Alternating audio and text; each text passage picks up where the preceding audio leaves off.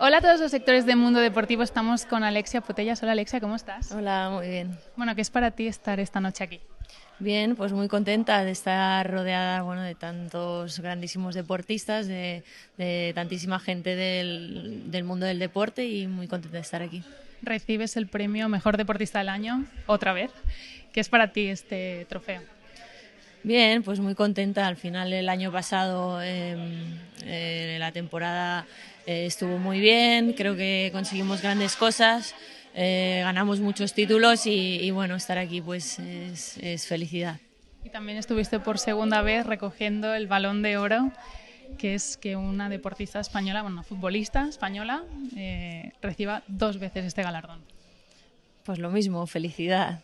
Al final estas cosas están muy bien porque es como que reconforta el trabajo que estás haciendo, que al final haces ese trabajo sin, sin esperar eh, nada de esto, ¿no? Eso es todo adicional y bueno, y ahora con, con ganas de volver a, hacer lo que más me gusta, que es jugar y, y, bueno, y si Dios quiere y todo sale bien, seguir ganando títulos y, y repetir en este tipo de eventos. Has convertido en una gran referente para muchas niñas que están empezando a jugar. ¿Qué es para ti esto?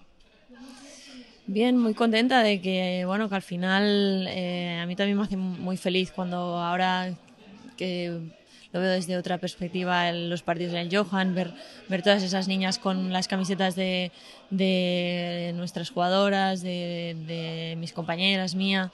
Al final es, es, una ilusión muy grande para ellas, también para nosotras, porque al final ellas pues van a ser el futuro y las que tienen que estar ahí en unos años. Incluso ahora te has convertido en imagen de algunas marcas. Eh, ¿Cuál es la clave que ha sucedido con el fútbol femenino para que lleguéis a ser eh, imagen?